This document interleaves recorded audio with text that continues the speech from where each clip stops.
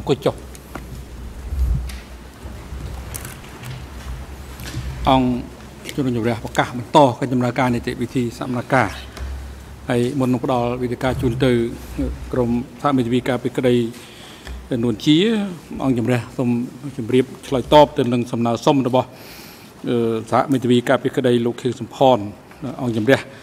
ឆ្លើយតបថាអង្គជំរះយល់ព្រមតាម សំណើសុំរបស់ក្រមមេធាវីការពីក្តីខៀវសំផនក្នុងការពន្យាពេលការឆ្លើយតបទៅនឹងសំណើសុំរបស់អង្គការចល័យសហប្រេញ្ញាឯកសារ E 307គឺរហូតដល់ក្រោយពេលដែលអង្គជំរះមានលទ្ធភាពចេញសេចក្តីសម្រេចលើសំណើសុំរបស់ក្រមមេធាវីការពីក្តីឯកសារ E 363ហើយអង្គជំរះក៏សូមជម្រាបជូនភាគីពាក់ព័ន្ធផងដែរថាការឆ្លើយតប ទៅនឹងដំណើរសុំរបស់សហប្រញ្ញា E 370នេះអង្គជំរះតម្រូវឲ្យភាគីធ្វើសារធ្វើតដីឆ្លើយតបផ្ទាល់មាត់នៅក្នុងពេលសំត្របណាមួយដោយមិនឲ្យធ្វើស្ដីឆ្លើយតបជាលិលាអសរទេហើយអង្គជំរះក៏សូមជម្រាបជូនថាអង្គជំរះនឹងខិតខំប្រឹងប្រែងដើម្បីចេញ ស្ដីសម្រេចរបស់ខ្លួនលើសំណើសុំរបស់ក្រមមន្ត្រីការពីក្តីគឺសម្ផន ឯកសារ E 363ឲ្យបានឆាប់បំផុតតាមដែលអាចធ្វើទៅបានហើយនឹងតាម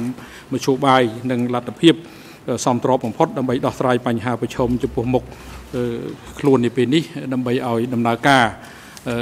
សមនាការស្ដាប់តក្កកម្មស័ក្តិសិទ្ធិដែលបានដើមម្ដងរដ្ឋនេះដែលបានគ្រោងទុកនៅក្នុងសប្តាហ៍នេះក្នុងសប្តាហ៍ក្រោយអាចប្រព្រឹត្តទៅបាន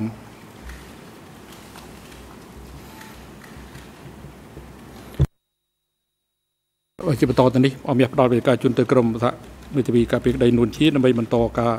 តាំងសម្រួលនេះដោយចំពោះដើមម្ដងរដ្ឋវិនី Thank you Mr President um good morning again Mr Witness សូមអរគុណលោកប្រធានជំរាបសួរសាជាថ្មីលោក I'm សាស្ត្រី trying to understand where ខ្ញុំ exactly you ជា were យាមស្វែងយល់ថា when តើ you លោក testified ស្ថិតនៅ that you ត្រង់ have ក been ន្លែង hiding ណាពិតប្រកបនៅ three ពេលដែល months លោក and បានឆ្លើយថា29លោកបានធ្លាក់ days ខ្លួន in the pond អឺ3ខែ29ថ្ងៃ close នៅ to the ក្នុង pagoda. ស្រះមួយក្បែរវត្តនោះ Let me first ask you do ឥឡូវ you ដំ know បូង whether that ខ្ញុំ pond សូមសួរទៅលោក is ថា still there តើ today? សតើថ្លុកមួយនេះនៅទីនោះដដែលឬសពថ្ងៃនេះបាទនៅដដែលឆ្លុកនឹងនៅទេថ្ងៃនេះ ប៉ុន្តែ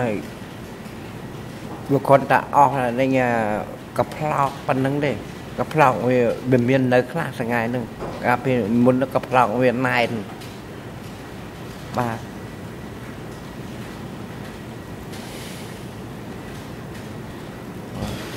um and before the break I was speaking ហើ to យ you មុនពេលជប់សម្រាប់ um, about a មុននេះបន្តិច road នេះគឺខ្ញុំបាននិយាយ immediately សួរលោក adjacent គឺថា to តើលោកហ្នឹងគឺវា the compound of the pagoda on the east side តើផ្លូវនេះវា Do you នៅ recall ផ្លូវនៅខាងកើតវត្តនេះវាជាប់ whether ប there is រិវេណ a វត្តតែ small ម្ដង road ឬក៏យ៉ាងណា immediately on the east តើ side មានផ្លូវ of តូ the ច pagoda? ណាមួយភ្ជាប់ពីវត្តទៅផ្ទះខាងកើតដោយផ្ទាល់នោះដែរទេ អឺផ្លូវមួយដែលនៅថាខាងកើតវត្តហ្នឹងគឺផ្លូវធំហ្នឹងមានមែនក៏ប៉ុន្តែផ្លូវដែលខ្ញុំ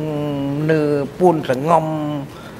នៅនៅមានខាងកើតហ្នឹងផ្លូវតូចតាចផ្លូវអ่าគេហៅថាផ្លូវស្រែបាទខ្វិតខ្វែងនៅតាមហ្នឹងដែលខ្ញុំក្រាបនៅក្បែរដៅហ្នឹងប្រហែលជា100ម៉ែត្រហ្នឹងប្រហែល នឹងផ្លូវទូចតាចទេផ្លូវវត្តហ្នឹងផ្លូវមានមែនបាទខាងកើតវត្តហ្នឹងបាទបើខ្ញុំនេះនៅខាងផ្លូវតូចតាចនៅខាងខាងកើតមកទៀតខាងកើតផ្លូវនឹងមកទៀត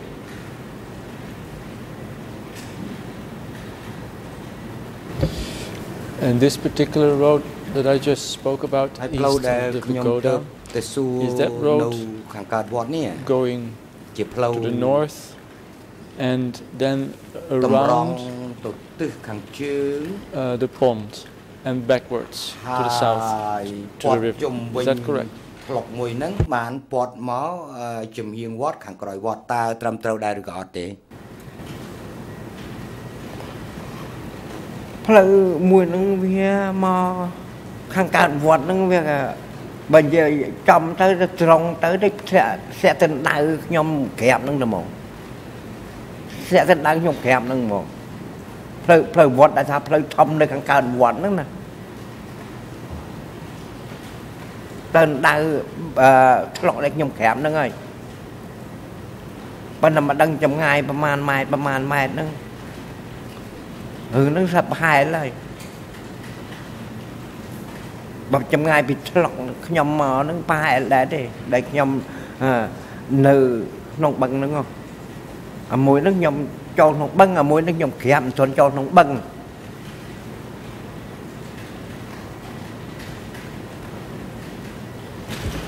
Um, right now, there is a pond អញ្ចឹងឥឡូវនេះនិយាយថា on the មាន east side of the ត្រ pagoda ពាំងមួយនៅ about ខាង one កើត kilometer វត្ត north of uh, the river. ចម្ងាយប្រហែលជា500 meters, 1 kilometer គីឡូ maybe ម៉ែត្រ away នេះបើ also គិត from ពី the ទន្លេនៅខាងកើតវត្ត pagoda, ម not ក quite sure. But does the road go ត្រពាំង around នេះវិញ the pagoda and back? ប៉ុន្តែសំណួរខ្ញុំសួរ To ថា the តើ south. មានផ្លូវភ្ជាប់ពីទិសខាងកើតវត្តរួចហើយអឺពាត់ជុំវិញទៅទិសខាងជើងខាងលិចហើយបានមកខាងត្បូងវត្តមានផ្លូវអញ្ចឹងទេបើមិនរំលឹកមកអត់ទាន់ឆ្លើយតបសូមជួយថាកញ្ញារងអន្តរជាតិ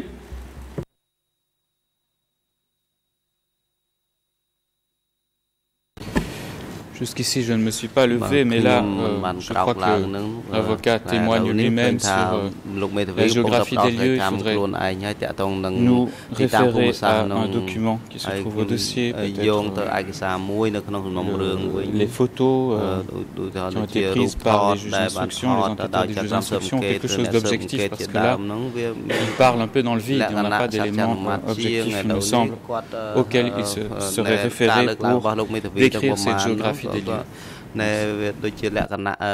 អត្តនោម័តអឺខ្លាំងអញ្ចឹងសូមឲ្យគាត់យោងទៅលើឯកសារអីមួយនៅក្នុងសំណុំរឿង Um, Mr. President, the only thing that I'm trying to do is to លោកប្រធាន understand អ្វីដែលខ្ញុំ um, ព្យាយាមសួ where រនោះគឺ he ខ្ញុំ said he ចង់ was ដឹង hiding for ថា three តើ months គាត់ and 29 days. ពិតជាបានលាក់ It is ខ្លួន correct នៅ that, um, ចំកន្លែងណា um, ដែរក្នុងរយៈពេល3ខែ29ថ្ងៃនោះ The use of the documents on the case file អឺ um, យើងប្រើ are not ប្រាស់ now being used by me. Um, I was there a few days ago to see how things are um, situated. That's very helpful. Everyone should do that. Um, but I'm trying to understand because there's a road moving northwards right on the east side and it goes around the pond. I'm just trying to understand from the witness whether um, មកខាងក្រោយវត្តមកទៅត្បូងវិញ the pond that I think is អញ្ចឹង there បាន is the one that ខ្ញុំ he សួរទៅគាត់ refers ថា to. តើស្រះមួយដែលគាត់អឺសំងំពូនលាក់ខ្លួននេះតើនៅស្រះនោះនៅមានដដែលឬសពថ្ងៃនេះ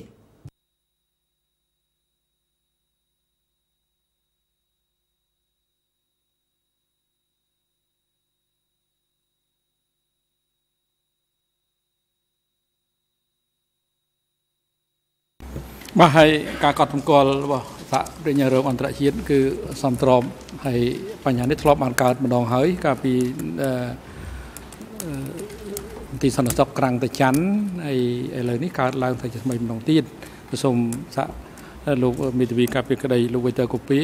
កែសម្រួលពីទំនួលលោកឡើងវិញជៀសវាងលោកធ្វើសក្ខីកម្មខ្លួនឯងហើយមកសួរដេញដោលស័ក្តិសិទ្ធិ យកការដឹងអត្តនោម័តរបស់ខ្លួនយកមកសួរដេញដោលស័ក្តិសិទ្ធិដែលអឺបង្ហាញពីការផ្ដល់សក្ខីកម្ម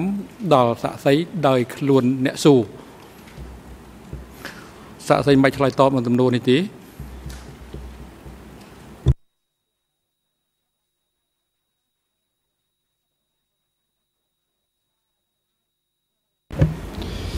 Let me reformulate the question, Mr. President. បាទដូច្នេះលោកប្រធានអនុញ្ញាតឲ្យខ្ញុំរៀបចំសំណួរ Do ឡើង you know វិញ today លោកសាក់សី if there is a មក road ដល់សពថ្ងៃនេះ leading from the east side តើលោកដឹងថាមាន of ផ្លូ the វមួយភ្ជាប់ pagoda ពីទិសខាង northwards កើត to uh, What? the pond? And តម្ is រង់ there ទៅ a ទិស road ខាង that goes ជើ around ង the ទៅ pond? សណ្ដៅស្រះ Today, នោះ do ដែរ you ឬ know? ទេមកដល់សពថ្ងៃលោកដឹងថាមានផ្លូវផ្លូវមួយហ្នឹងសំដៅទៅស្រះដែលលោកលាក់ខ្លួននោះដែរទេ សង្សង្ថ្ងៃនេះមានណាមានផ្លូវថ្មីគេកសាងថ្មីហ្នឹងគេធ្វើជាអឺធ្លាក់ទៅដល់ស្រះដែលខ្ញុំពួនហ្នឹងគេហៅបឹងក៏បានស្រះក៏បានដែលខ្ញុំពួនហ្នឹងមកទៅតាមផ្លូវណាក៏បានដែរផ្លូវហ្នឹងផ្លូវខាងកើតដែលខាងកើតវត្តឧតកូនហ្នឹងណាមានច្រើនណាស់សងៃហ្នឹង ឲ្យថាថាទៅក្នុងបឹងកន្លែងបបោះហ្នឹងគឺมันអាចវិញទេហើយដល់ផ្លូវពីមុនហ្នឹងផ្លូវហ្នឹងវាអាបើផ្លូវស្រែផ្លូវអីហ្នឹងខ្ញុំរត់ឲ្យតបានមកបាទផ្លូវឥឡូវនេះវាកើតចាំថាចង់ទៅកន្លែងបបោះហ្នឹងបានអត់មានវិញទេកន្លែងបោះដែលខ្ញុំពួនហ្នឹងគេហៅកន្លែងបបោះថាតពាំង ថាស្រះនឹងកន្លែងបបោះហ្នឹងហើយតែកន្លែងខ្ញុំពួននោះ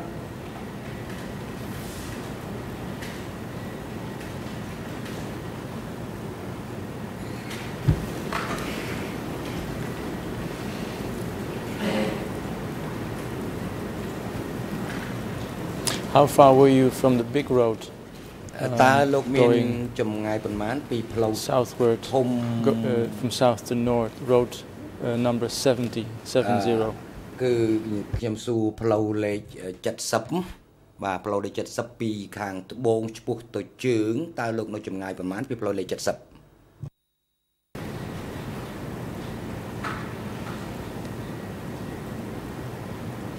ផ្លូវលេខ70អឺគេកសាងថ្មីហ្នឹងអេអស់លោកខ្ញុំមិនបានចំណាំទុកបែរជាប្រមាណប្រមាណទេ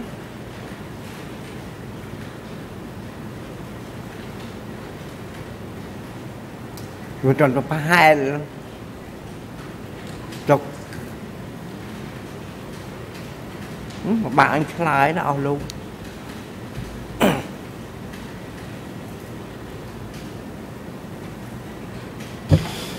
Uh, I'm not sure if we are getting somewhere. Um, Mr. Witness, I will move on to another ខ្ញុំ uh, subject. កន្លែងតែយើងយកគ្នាមិនបានច្បាស់ You ចឹង said ខ្ញុំ at one ដូរទៅ point ប្រធានប uh, ទ in ថ្មី your ទៅចុះ testimony that នៅពេលមួយលោក um, បានឆ្លើយថា you wanted to resist. Um, លោកចង់ what happened? You, you wanted to resist after you had been hiding, បះ and បោ that you ដែរនៅ said ពេលដែល um, លោ you ក said that you went លាក់ to a ខ្លួន mosque ហ្នឹង to លោក try to បាន find ទៅ a weapon, ព្រះវិហារមួយដើម្បី a ស្វែ gun. ងអឺរកកំភ្លើង Um, ទៅរក why កំ would ភ្លើង you go to a mosque at ហេ the តុ time អ្វី to find បា a នជា gun លោ or ក a ទៅ weapon? ព្រះវិហារចាមនៅពេលហ្នឹងដើម្បី What ទៅ made រ you កកំ think ភ្ at លើ the ង time តែ that នៅ in ពេល the ហ្នឹង mosque there could be មានអ្វី weapons? ធ្វើឲ្យលោកគិតថាអាចនឹងមានកំភ្លើងនៅក្នុងព្រះវិហារចាមហ្នឹងបាទខ្ញុំខ្ញុំនៅក្រាបនៅហ្នឹងខ្ញុំមិនអស់សង្ឃឹមថាអាបងប្អូនខ្ញុំនៅស្រែកថាអល់ឡោះពោលើយអឺអល់ឡោះពោលើយអញ្ចឹង ខ្ញុំក្រាបកន្លែងហ្នឹងហើយខ្ញុំចង់ទៅរកកំភ្លើងកំភ្លើងនៅនៅគោលដៅណាទេខ្ញុំទៅដើរគេហៅថាអឺចាទៅទៅទៅគេរកមានជួបកំភ្លើងអីខ្ញុំមកជួយបងប្អូនខ្ញុំដែលនៅក្នុងដៅគេនៅវាយចោលនោះបាទហើយទៅហ្នឹងនោះព្រះពហិយហ្នឹងពហិយចាមបាទពហិយចាមហ្នឹងខ្ញុំក៏ឡើងទៅ បាទឡើងទៅក៏ហកកំភ្លើងអាហកកំភ្លើងនោះវាគ្មានវាគ្មានគូអស់សង្ឃឹមបាទបើសិនជាខ្ញុំទៅរកកំភ្លើងឲ្យបានមែនខ្ញុំមកជួយបងប្អូនខ្ញុំហើយពួកខ្ញុំអាណិតបងប្អូនខ្ញុំអាណិតប្អូនខ្ញុំអាណិតពូជបោខ្ញុំអាណិតទាំងអស់អ្នកភូមិទាំងអស់ បានជាខ្ញុំស្វែងរកទៅរកកំភ្លើងខ្ញុំមិនមែនអត់ទលាក់កំភ្លើងទេខ្ញុំទៅរករឹសកំភ្លើងនិយាយឲ្យចំទៅគឺរួមមានកំភ្លើងណាខ្ញុំទៅជួយបុកខ្មែរក្រហមកំពុងនៅធ្វើបាបបងប្អូនខ្ញុំបានហ្នឹង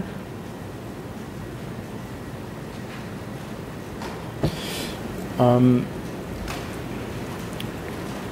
But you also testified that mosques ហើយលោក weren't used ក៏ anymore. បាន Um, ឆ្លើយដែរ you ថា said ព្រះ that វិហារចាម rice ហ្នឹង was គេលែងឲ្យ stored ប្រើប្រាស់ទៅ in ទៀតហើ mosques. យហើយគេយក What ព្រះ made វិហារ you ហ្នឹង think at ទៅ the time ធ្វើជាជំរកស្រូវ that notwithstanding អញ្ that ចឹង you could find នៅ a ពេលហ្នឹង weapon មាន in the អ្វីដែល mosque? នាំឲ្យលោក Why គិត go to the ថា mosque អឺ to find the weapon? អាចមានកំភ្លើងនៅក្នុងវត្តហេតុអ្វីបានជាលោកទៅកាន់ព្រះវិហារដើម្បីទៅទៅរកកំភ្លើង បាទ ខ្ញុំមានអឺពួកនឹងវាជាយាមកន្លែងហ្នឹងពួកវាវាលែងឲ្យវាលែងឲ្យថ្វាយអង្គមហើយហើយវាយកព្រះវិហារហ្នឹងដាក់ជាអឺគេហៅថាអឺតបាល់កិនតបាល់អីហ្នឹងហើយ មានកស្ព្រៃនៅក្នុងហ្នឹងបាទហើយនៅក្នុងហ្នឹងគឺមានអ្នកយាម មានអ្នកយាមខ្ញុំគិតថា ប្រហែលជាអ្នកយាមនេះពួកម៉ែខំនេះគឺប៉ះប្រហែលជាមានកំភ្លើងហើយខ្ញុំទៅរកមើលពួកគេកំពុងនៅ ប្រហារបងប្អូនខ្ញុំណាខ្ញុំទៅដើររកអាទៅរកទៅឃើញដេកចងៀមអញ្ចឹងទៅវាអត់ដឹងខ្ញុំនេះខ្ញុំបានទៅស្ទាបក្បាលវាទៀតវាអត់ដឹងទេប៉ុន្តែវាអត់មានកំភ្លើងបើមានកំភ្លើងខ្ញុំលួចយកមកហើយខ្ញុំយកមកជួយបងប្អូនខ្ញុំបាទប៉ុណ្ណា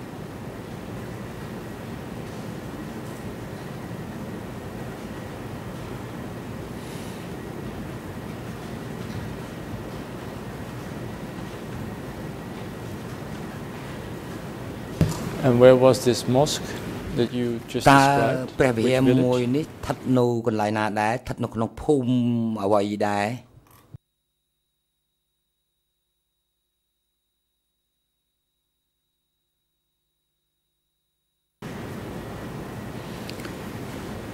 ព្រះព្រះវិហារមួយនេះស្ថិតនៅភូមិគេហៅភូមិតសូវតសូវបាទតភូមិតសូវគេហៅថា ផ្លែតសូវផ្លែតសូវហ្នឹងគេហៅថាភូមិតសូវហ្នឹងណាអឺនៅក្បែរព្រាមចកងហ្នឹងហើយមើលនៅគៀកគ្នាព្រាមចកងហ្នឹងភូមិចាមហ្នឹងភូមិតសូ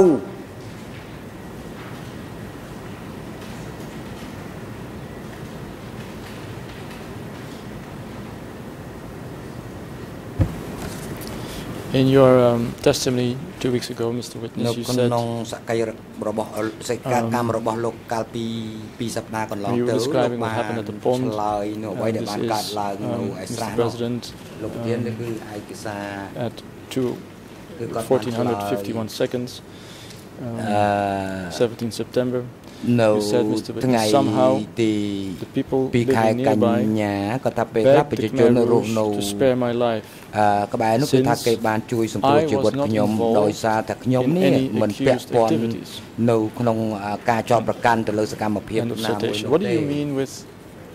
you not being involved នៅពេល in លោកនិយាយថាលោកមិន accused បានចូលរួម activities. ពាក់ព័ន្ធនៅក្នុងសកម្មភាពដូចដែលគេបានចោទប្រកាន់តើលោកចង់និយាយថាម៉េចដែរ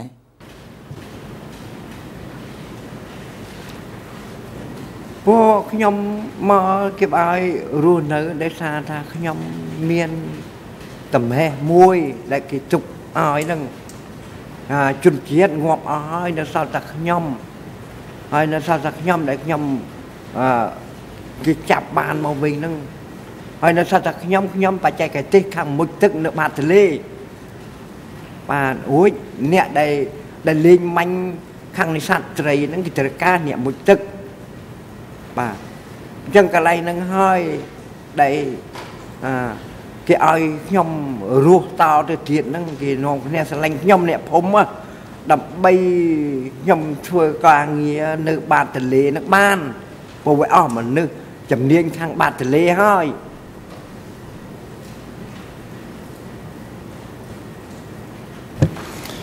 Um, Mr. Witness, last week, two weeks លោក ago, សាក់ you សីកាល um, ពី when asked ពី the ស question, ប្តាហ៍កន្លងទៅ voluntarily offered នៅ to ពេលដែល say, គេសួរលោកឲ្យ quote, លោកឆ្លើយដោយស្ម័គ្រចិត្ត I សំ am ណ not ស្រ a ង់ novelist. I am not here to create a story. ខ្ញុំមិនមែនជាអ្នកនិពន្ធ What did you mean when you said that? ខ្ញុំមិនមែនជាអ្នកនិពន្ធប្រឌិតរឿងអីទេគឺថាខ្ញុំនិយាយតែប្រវត្តិសាស្ត្រនិយាយតែអ្វីដែលជាការពិតតើលោកចង់និយាយថាម៉េចចំណុចនេះ ខ្ញុំខ្ញុំមិនមែននិពន្ធរឿងទេព្រោះខ្ញុំនេះការពិតដែលខ្ញុំ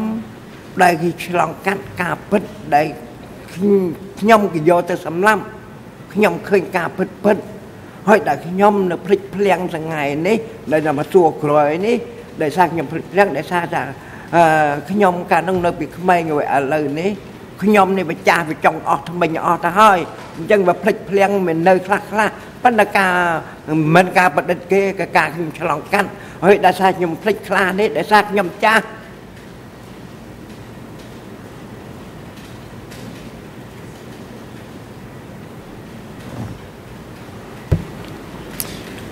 Um, are the, the villagers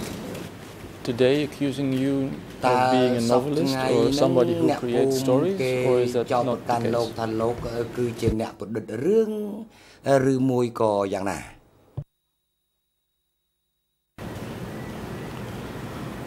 អឺអ្នកភូមិនៅថ្ងៃនឹងក៏ដោយបាទបាទបាទចង់ជាក់ស្ដែងភាសាខ្លះខ្លះខ្ញុំនិពន្ធរឿងសាកសួរតទៅទៀតសួរទៅបើថាខ្ញុំនិពន្ធរឿងគេប្រាប់ថានិពន្ធរឿងហើយបាទខ្ញុំនេះខ្ញុំប្រាប់ជម្រាប លោកថាខ្ញុំនេះឆ្លងកាត់ពិតពិតខ្ញុំហ៊ានម៉ាននេះបាទ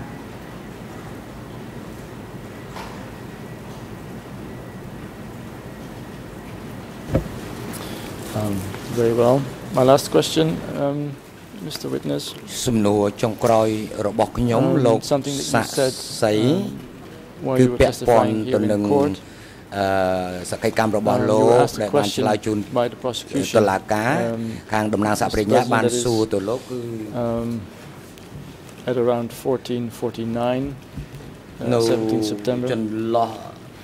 You were asked ម៉ោង a question of prosecution 14:49 about uh, the ថ្ងៃទី evacuation of 17ខែក Cham ញ្ញា at 3ឆ្នាំ p.m. 2015និយាយពីការជម្លៀសជនជាតិចាមនៅម៉ោង Villagers 3 from Uncle Ban, អ្នក Sakso, ភូមិពីភូមិអង្គរ um, បាន and ភូមិ Tansor. សាក់សូ And you answered as follows. All of them died ហើយលោកបានឆ្លើយដូចតទៅ because ថាអ្នកភូមិ everyone ទាំងអស់នោះស្លាប់ was អស់ sent ហើយ to work in the dam ពី site. ព្រោះថាម្នាក់ in the ម្នាក់ work គេ site. បញ្ជូនទៅឲ្យធ្វើ So ការ all នៅ of these ការដ្ឋា people ន may ការ have ងារ died because of labor. អឺហើយប្រជាជនទាំងអស់នោះប្រហែលស្លាប់ដោយសារ Why was តែ it that you gave that ការធ្វើ answer to ការ the ងារ question យ៉ាង about ដូច the arrest of យ៉ាង the នេះឯង Cham? Were you implying ហេតុអ្វីបានជា that លោក they ឆ្ were លើយអំពីការចាប់ arrested ខ្លួនជនជាតិចាម and subsequently were sent to work ហើយក្រោយមក at ថាគេ the បញ្ជូន dam ទៅ site ឲ្យ or the ធ្វើ work ការ site? នៅការដ្ឋានការងារតើលោកចង់បញ្ជាក់យ៉ាងម៉េចហ្នឹងអឺគឺទី1ចាប់ខ្លួនទី2បញ្ជូនទៅឲ្យធ្វើការនៅការដ្ឋាន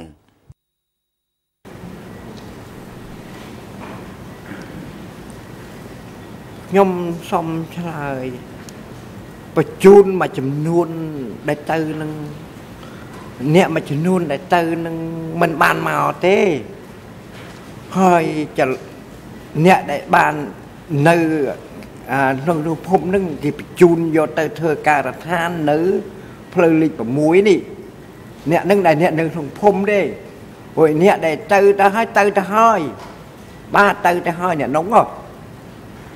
បាទទៅទៅហើយទៅទៅបាត់ខ្លួនទៅសងៃនេះឃើញមកវិញប្រមាណបាទប្រមាណចាស់ទេឃើញតែសោះមួយត្រឡប់មកវិញ ហើយអ្នកដែលនៅទៅការដ្ឋាននេះប្រជុំទៅការដ្ឋាននេះអ្នកដែលនៅក្នុងភូមិគេជ្រើសរើសហើយទៅថាថា50%នៅ50%អា50%ហ្នឹងมันបានមកទេ បានមកខ្លះនៅសមកថាអាសកិច្ចសោនៅសាច់សោសកិច្ចសោអញ្ចឹងវាបាត់ទាំងអស់នឹងហើយហើយឥឡូវនៅតែសកិច្ចសោពួកចៅអ្នកដែលទៅការដ្ឋានភ្លើងលេខ6នេះ អ្នកនឹងដែលនៅក្នុងភូមិគេមិនឲ្យទៅទេហើយគេមិនឲ្យទៅទេអ្នកនឹងហើយដែលទៅការដ្ឋាននៅនៅអាភ្លើងលេខ6នេះអ្នកនឹងហើយទៅការដ្ឋានហ្នឹង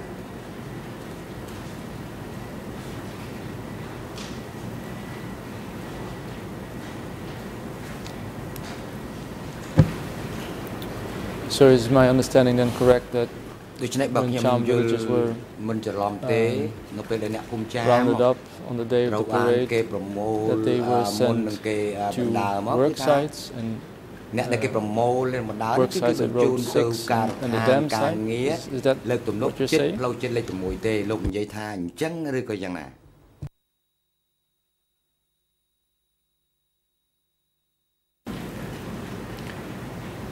ផ្លូវ កុំអត់តន់ឆ្លើយតបលោកលោកលោកម៉ានកុំអត់តន់ឆ្លើយតប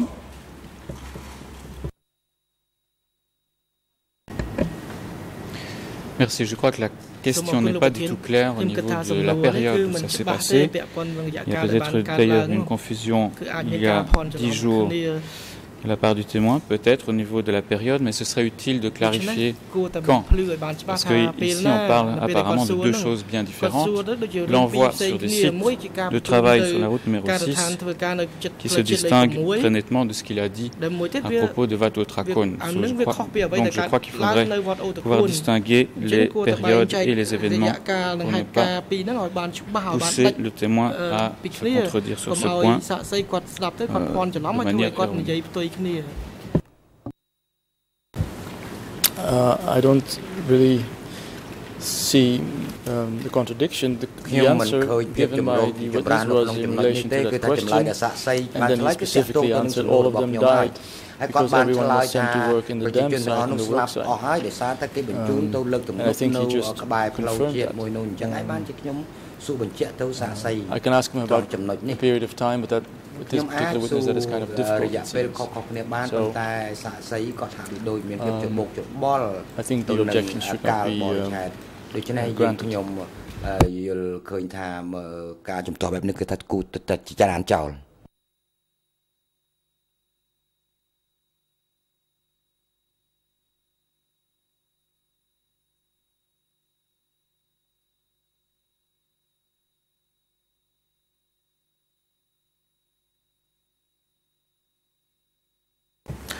បាទហើយសេចក្តីជំទាស់របស់សហទេញរងអន្តរជាតិលើទំនួលនេះគឺមានមូលហេតុសមស្រប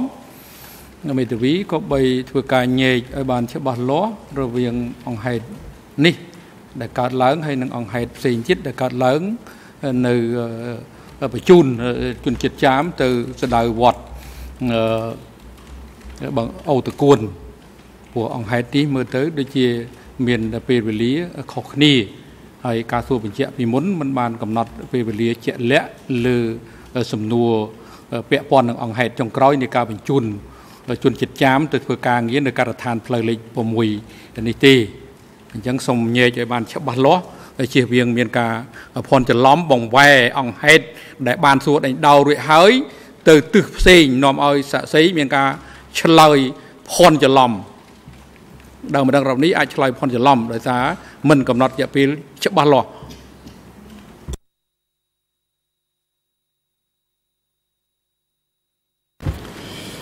Um, I'm not sure, Mr. President, but the, the first January dam work site we have ខ្ញុំ been មិន discussing ច្បា at ស់ length was in អឺនោះទេ 77, um, ប៉ុន្តែ same ទម្លុ period ង of 1មក time. រាគឺយើងនិ that we're យាយយ៉ាង discussing វែងក្នុង in ឆ្នាំ relation to what Dr. Kum. 1977ហើយ Uh, ក៏ but ចាប់ I'll ទងទៅនឹងវត្ត rephrase my អូត question. គួនតែយ៉ាងណា Um, ខ្ញុំរៀបសំណួរឡើងវិញ Um, Mr. Witness,លោក two, សាក់សី two weeks ago you, you កាល testified, ពី and ពី I quote សប្ again, តាហ៍កន្លងទៅនោះគឺលោក All of បាន them ឆ្លើយ died ថា because សម្ដកស្រង់ everyone អ្នក was ទាំងអ sent ស់ to ស្លាប់ work អស់ហើយ in ដោយ the សារ dam ម្នាក់ម្នាក់ site, គេ in បញ្ the work ជូន site. គ្រប់គ្នាគេបញ្ជូនទៅការដ្ឋា So all ន of these ការ people ងារ may have died because ដូ of ច្នេះ the ប្រជា labor, ជនទាំងអស់នេះប្រហែលជាស្លាប់ And they ដោយ were សារ arrested តែពល together with កម្ម other នេះ people. ឯង and they all ហើយ died. គេហើយ Jam អ្នកដែល people គេចាប់ died. ជាមួយអ្នកទាំង Jam នេះហ្នឹង people គឺ from ក៏ស្លាប់ Sakso, ដែរគឺយើងប្រជាជនចាមមកភូមិសាក់ Angkor សូ Wat អង្គ villages រ died. បាន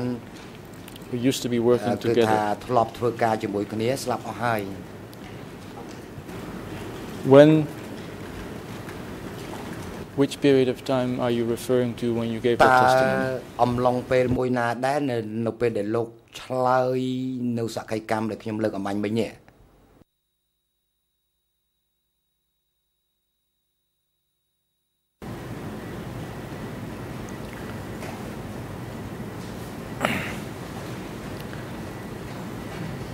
នៅ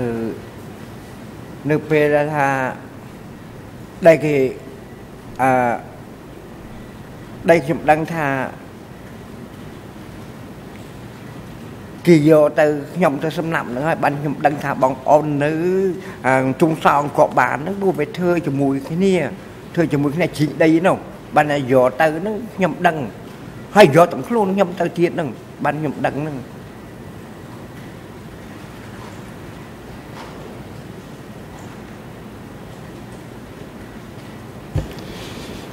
But again, you're, s- you're speaking specifically ប៉ុន្តែលោកបាននិយាយយ៉ាងច្បាស់លាស់អំពីប្រជាជនដែលគេបញ្ជូនទៅឲ្យធ្វើការនៅការដ្ឋានការងារដូច្នេះប្រជាជនទាំងអស់នេះប្រហែលជាស្លាប់ដោយសារតែពលកម្មនៅពេលដែលលោកថាអ្នកទាំងអស់នេះប្រហែលស្លាប់អស់ហើយប្រហែលជាស្លាប់ដោយសារពលកម្មតើលោកចង់និយាយថាម៉េចចំណុចនេះ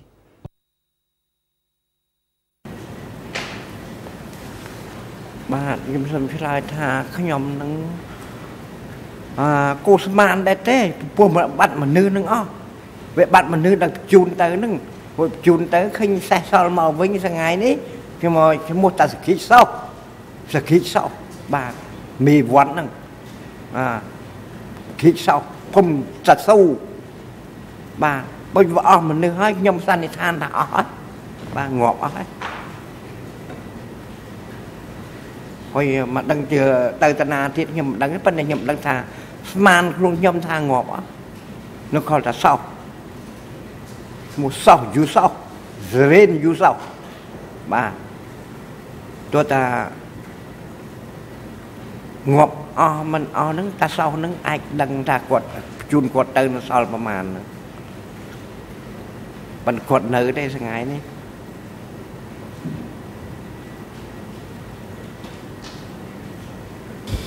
Um, I'm mindful of the time, uh, so I will finish, uh, Mr. President. បាទដោយសារតែពេលវេលាអញ្ចឹងខ្ញុំសូមបញ្ចប់ការសួររបស់ខ្ញុំទៅនេះសូមអរគុណលោកប្រធានអរគុណតននេះផ្ដល់វេទិកាជូនទៅធំសហវិទ្យាការពីក្តីគៀនសំផន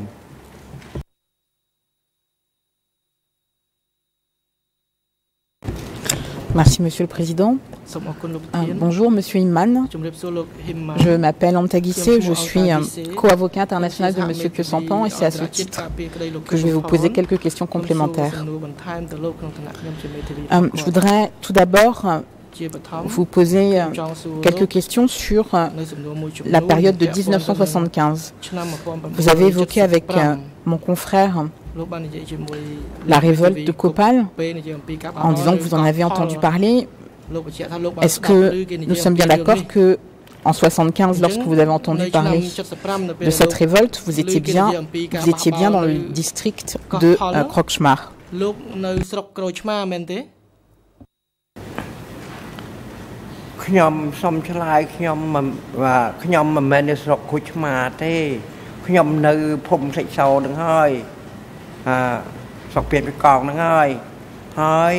ស្រុកពៀនកងហ្នឹងហើយហើយខ្ញុំគាត់តែអ្នកជីកដីប៉ុណ្្នឹងទេប៉ុន្តែលឺគេនិយាយថាព្រមព្រៀតអាតាំងកាលនោះតាំងដូចជីកដីនឹងមនុស្សនិយាយថាគ្រួចឆ្មានេះសម្បើមបះបោសម្បើមណាប៉ុន្តែលឺតាមចាំរាមទេឮចាំរាមពួកអ្នកជីកដីហ្នឹងមួយទៅមួយមួយទៅមួយវាខ្ទកទាអស់ទៅ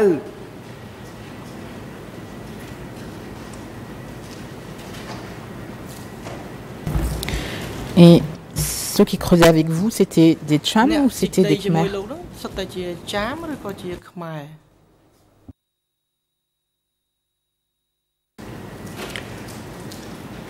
នេះជីកដីហ្នឹងវាចម្រោះចម្រោះមានចាមមានខ្មែរនេះជីកដីហ្នឹងបើ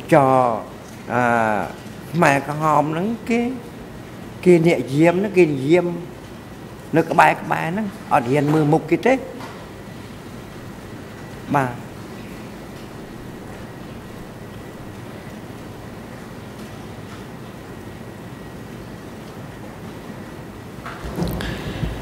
Est-ce que,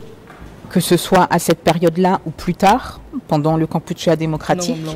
vous avez eu à rencontrer des gens qui était de Krokshmar ou qui était à Krokshmar au moment euh, de la révolte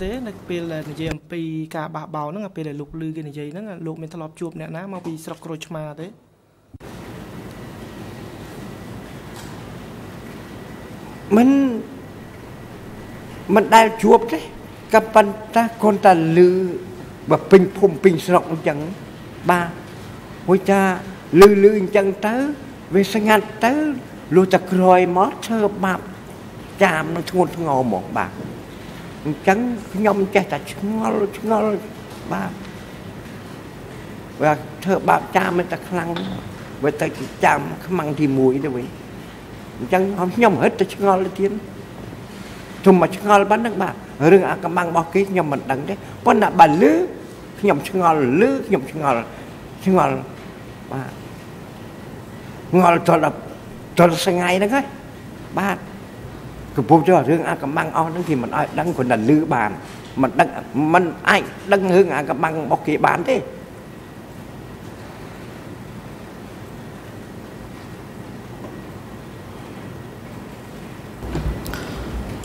Vous avez été entendu par euh,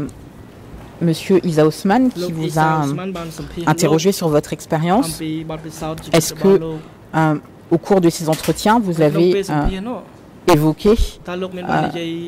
la révolte de Copal Est-ce que vous vous souvenez avoir évoqué la révolte de Copal avec lui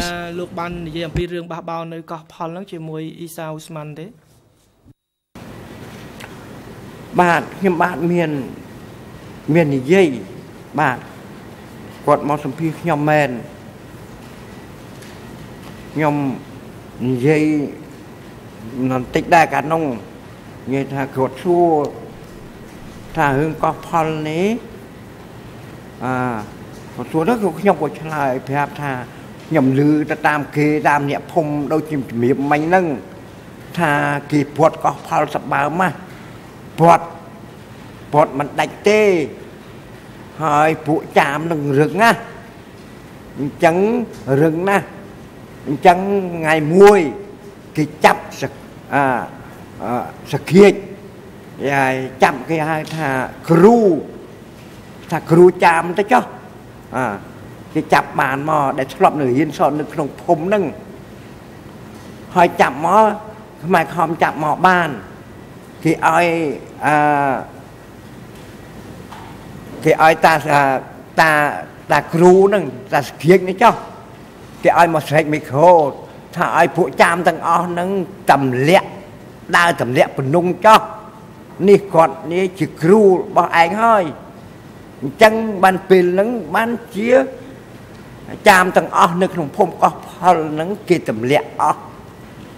បាទមកសារភាពដែលសារគ្រូគេឲ្យឡើងមកហើយកុំតទួលហើយបានជាបរាជ័យកន្លែងហ្នឹងទៅ បរាជ័យកន្លែងទៅអញ្ចឹងអញ្ចឹងក្រោយមកខ្ញុំលឺអញ្ចឹងដែរថាលាយទៅហើយគេហៅថាកោះផលវាคล้ายទៅជាកោះផេះកោះផេះបាទកោះផេះអញ្ចឹងចាមក្រោយមកដែរចាមដាក់ខ្មាំងទី1ខ្មាំងទី1ហ្នឹងដែលសាច់ខ្ញុំលឺអានឹងមករួចលឺអានឹងមករួចចុះមកយ៉ាប់នៅខ្មាំងទីចាំនៅក្នុងភូមិយ៉ាប់ហ្មងយ៉ាប់ខ្មាំងទី1ខ្មែរក្រហមប្រយ័ត្នប្រយ័ត្នរឿងចាមនឹងដាក់ខ្មាំងទី1 អញ្ចឹងខ្ញុំចម្ងល់កន្លែងហ្នឹងនៅឆ្ងល់ទោះតែថ្ងៃនេះបើអស់កោះផលវេលាគេខ្លាចចាមបោះបោដូចកោះផលហ្នឹងបាទ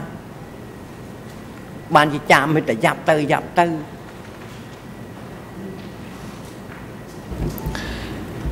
Vous avez évoqué de Copal. Est-ce que, euh,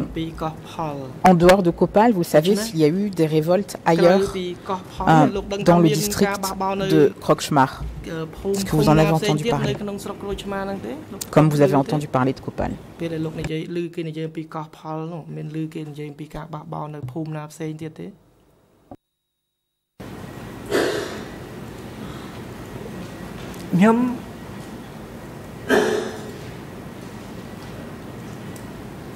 ជាមិនលឺអីទេលឺតកោះផលមកកន្លែងលឺតកោះផលមកកន្លែងហ្នឹងហើយក្រោយមកហ្នឹងវាចេះតែយ៉ាប់យ៉ាប់ក្នុងភូមិមើលតែភូមិខ្លួនឯងហ្នឹងមើលមិនបាច់ណាខ្ញុំនឹងអាអ្នកធ្វើមេធំទេកាលនោះខ្ញុំអ្នកជីកដីទេពេលជីកដីមកដេកមកពួនទៅលឺតែនិយាយចែងចោលលឺតែខ្លាចចែងចោះបាទ លឺអាពាក់មិនស្រួលមកនាមគ្នាភ័យភ័យខ្លាចតែងាប់ហ្នឹង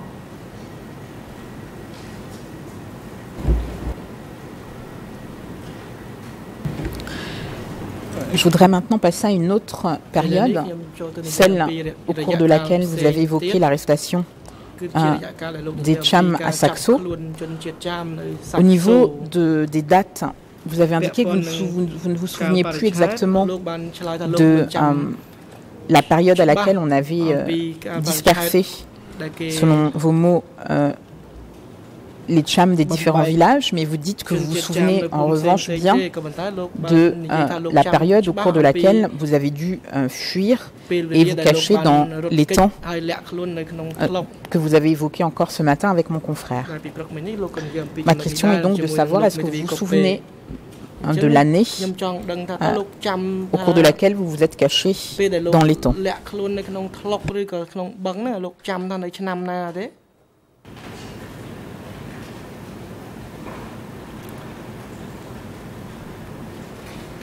ខ្ញុំនេះចាំចា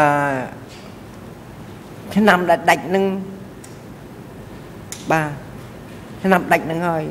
ដីខ្ញុំនៅលាក់ក្នុងក្នុងបឹងហ្នឹងនឹង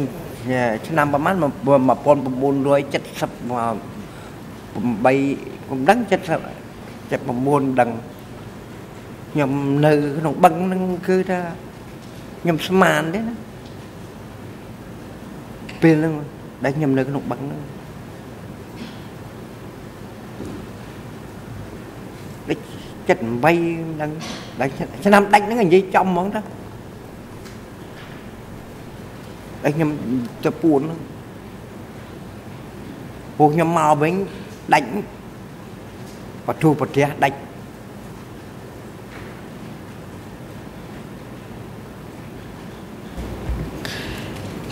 Est-ce que vous pouvez euh, confirmer que en 78, euh, les Chams et les Khmers euh, étaient habillés pareil Est-ce que qu'il n'y avait plus l'utilisation des habits traditionnels Cham à ce moment-là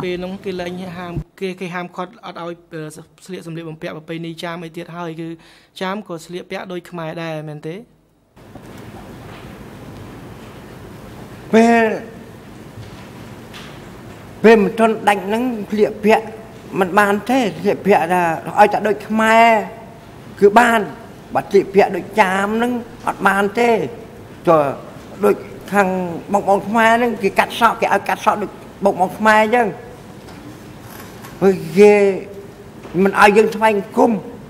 ជ្រូកដែលយើងអឺគេមិនឲ្យស៊ីជ្រូកគេឲ្យស៊ីជ្រូកស៊ីទៅថ្វាយគុំ ចាមឆ្លត់ថ្វាយអង្គមគេមកឲ្យយើងថ្វាយទេបើគេមកឲ្យយើងថ្វាយយើងលប់ថ្វាយគង់តែមានម៉ោងបាត់បាត់ខ្លួនទេបាទ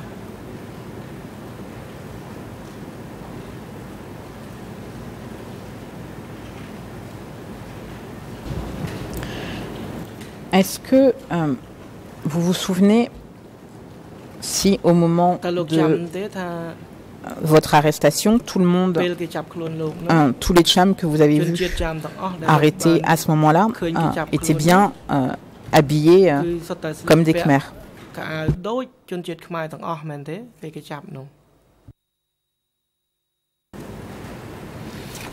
Bah,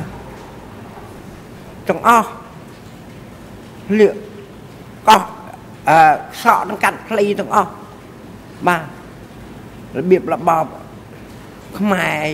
ទាំងអស់បាទរបៀបរបបខ្មែរទាំងអស់គេថាមានជាតិតែមួយទេគ្មានចាមទេគ្មានខ្មែរទេគ្មានជាតិតែមួយដល់ពេលហ្នឹងយកទៅសម្លាប់ហ្នឹងក៏ទៅទាំងសក់ខ្លីហ្នឹងដែរអឺទៅថាអត់មានទទួលកម្មាទួអីទេ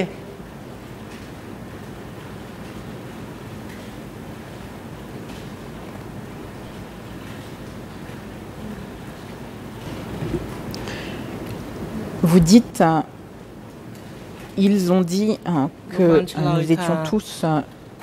Khmer et faisant partie d'une même nation. Est-ce que vous pouvez indiquer qui a dit cela et quand vous l'avez entendu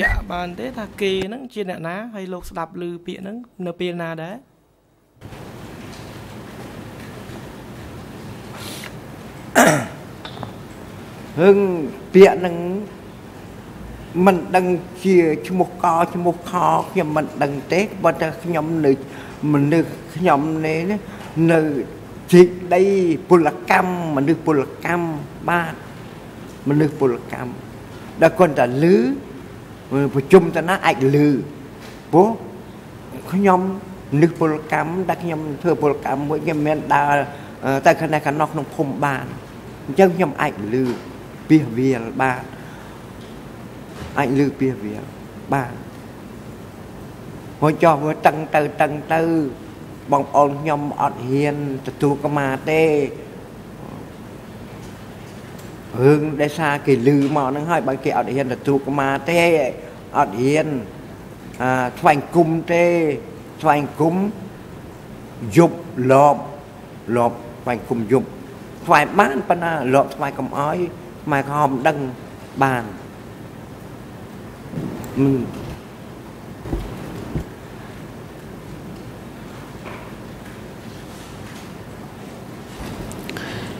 Au moment de votre arrestation, est-ce que vous pouvez m'indiquer qui était votre chef direct?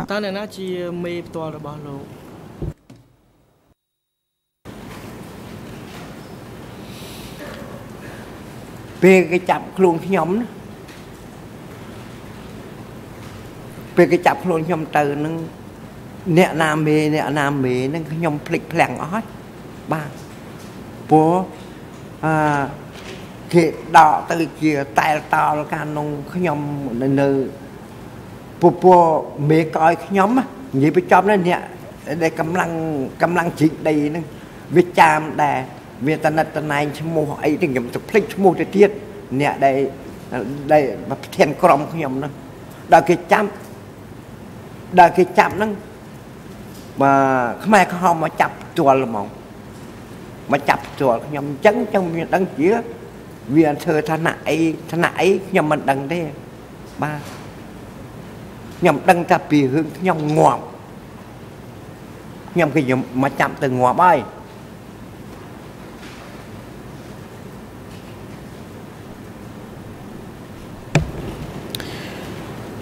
Dans euh, votre document euh, relatif à vos informations euh, de partie civile, E3 barre 4706, ERN en anglais 00417 ERN en Khmer 00369053 et il n'y a pas de RN en français. Vous dites que là vous parlez juste avant, euh, pas longtemps euh, avant la fin du régime, et vous dites qu'il y aurait eu un ordre venant de l'échelon supérieur. Quand vous dites échelon supérieur, vous parlez de qui, si vous le savez, et euh, qui vous a donné cette information, si vous le savez euh, si vous savez d'où venait cette information. Nous,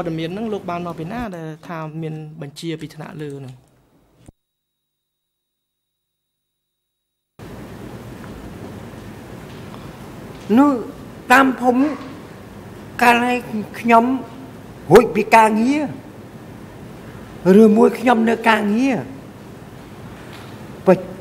លឲ្យខ្ញុំរួចពីការងារឬមួយខ្ញុំនៅការងារលើប្រជុំនេះមួយនេះមួយគេនិយាយតែរឿងថ្នាក់លើមិនដឹងថ្នាក់លើមួយណាខ្ញុំក៏មិនដឹងដែរថ្នាក់មួយលើមួយណាមួយចំនួនខ្មែរខំចំនួនតែថ្នាក់លើថ្នាក់លើ អង្គការថ្នាក់លើថ្នាក់លើកថ្នាក់លើខមិនបានដឹងទេអស់លោកខ្ញុំមិនបានដឹងថាឈ្មោះអីឈ្មោះអីថ្នាក់លើនៅតាណាអត់ដឹងប៉ុន្តែឮថាថ្នាក់លើ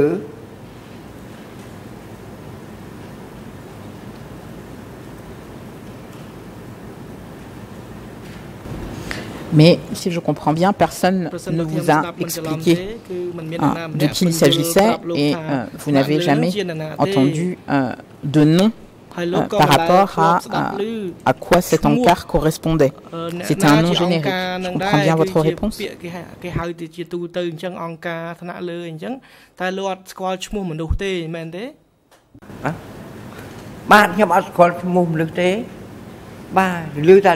ស្នា ស្នាក់លើ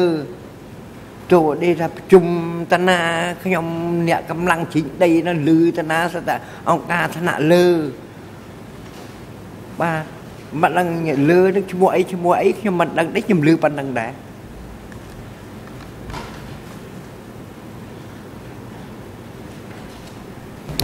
អឺ Monsieur le Président, je suis consciente du temps qui s'écoule et je pense que si euh, la partie qui veut faire sa déclaration, il ferait peut-être bon que je m'arrête maintenant.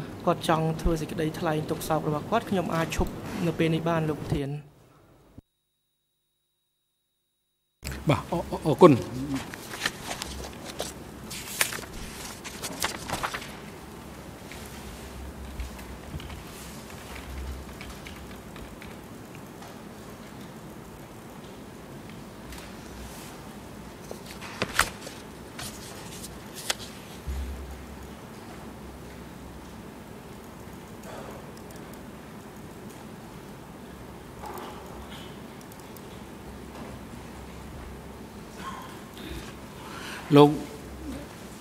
ហ៊ីម៉ានជាចុងក្រោយនេះលោកអាចថ្លែងរៀបរាប់ប្រាប់ដល់អង្គសមនាការស្ដាប់អំពីរឿងហេតុទំនាក់ទំនងទៅនឹងបទក្រិតដែលត្រូវបានចោទប្រកាន់លើជនជាប់ចោទទាំងពីររូបនួនជានិងខៀវសំផនដែលបានប៉ះពាល់ចំពោះលោកក្នុងរបបកម្ពុជាប្រជាធិបតេយ្យដែលនាំឲ្យលោកតាំងខ្លួនជាដើមម្ដងរដ្ឋវិនីទាមទារសំណងជាមួយចិត្តនិងជាសមរភាពពីជនជាប់ចោទ ហើយនឹងពីស្ថានភាពជារតកម្មដែលមានចំពោះលោកជាអាចការខូចខាតរាងកាយសម្ភារៈផ្លូវចិត្តនិងផលវិបាកដោយផ្ទាល់ពីបទឧក្រិដ្ឋដោយជាភ្ញាក់កម្មផ្ទាល់ខ្លួននឹងបានកើតមានរហូតដល់បច្ចុប្បន្ននេះហើយបើសិនបើមានបើលោកមានបំណងធ្វើដូច្នេះសូមអញ្ជើញមក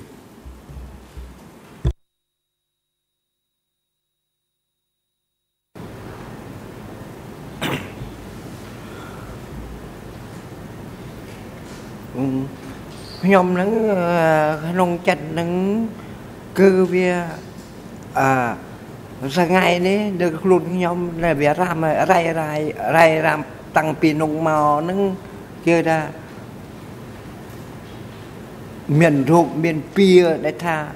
សឹងថាចង់កើតមនុស្សមិនកើតមកវាថាថាឲ្យអស់សង្ឃឹមតែថាទុកសោកខ្ញុំនេះ វាអស់តាំងពីបងអស់តាំងពីអមសាច់លូហាច់ទាំងអស់បាទតាំងពីធ្ប់របស់ធុកអីខ្ញុំអត់និយាយទៅរឿងធ្ប់របស់ណានិយាយពីរឿងដល់បងប្អូនសាច់សាលូហាត់ខ្ញុំបាទអាលីងហើយពួកខ្ញុំហ្នឹងសងៃនេះសឹងថាងាប់ល្អជាងបាទគ្មានអ្វីប្រៀបបានទេ នៅក្នុងចិត្តខ្ញុំនេះសងៃនេះសឹងថាដូចថាមនុស្សគួតហើយ បាទលែងសង្ឃឹមអីបាទហួយគាត់ថាបានសង្ឃឹមក្នុងកន្លែងណាសង្ឃឹមថាសំឡាងល្អដែលអ្នកមានគុណមកជួយជន់អស់លោកសិតតែអ្នកមានគុណហើយទាំងអស់គ្នាដែលមកជួយជន់បាទជុំអីនឹងងាប់អស់ហើយតាមខ្មែរយើងនោះបាទសំណាងល្អបានអស់លោកមកជួយជន់អ្នកមានបន់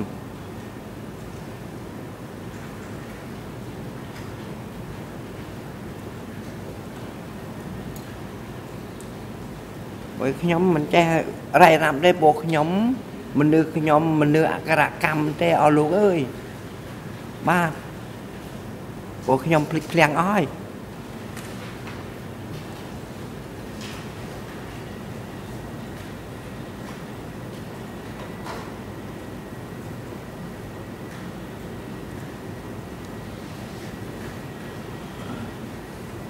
វា មានអីក្បោះក្បាយទេបើខ្ញុំអត់តែរៀបក្បោះក្បាយហ្នឹងមើលវាថាខ្ញុំសង្ខេបត្មងទៅថាវាដូចជាមនុស្សថាគ្មានសង្ឃឹមអីទេសងៃនេះវាដូចជាមនុស្សឈួតទៅហើយវាអស់អាលីងមកដីរ៉ាំរ៉ៃតាំងពីនោះមកមនុស្សមានសង្ឃឹមអីទៀតវាអស់តែពុជបអស់ទៅហើយបាទ អស់ពុញបអស់សាច់ញាតិអាលីងទៅក្នុងដៅអស់ហើយបាទ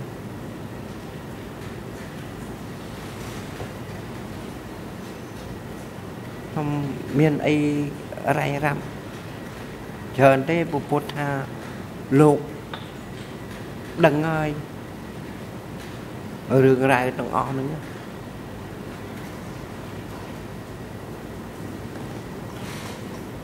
បាទអង្គជំរះអរគុណលោកហ៊ីម៉ានការស្ដាប់សកម្មរបស់លោកក្នុងឋានៈជាសក្តិ